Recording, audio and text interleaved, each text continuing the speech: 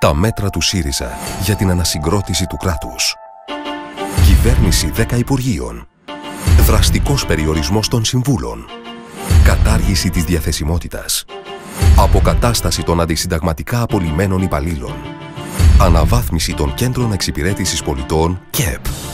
Απλοποίηση της έκδοσης αδειών για επιχειρήσεις και οικοδομές. ΣΥΡΙΖΑ. Η Ελλάδα προχωράει. Η Ευρώπη αλλάζει.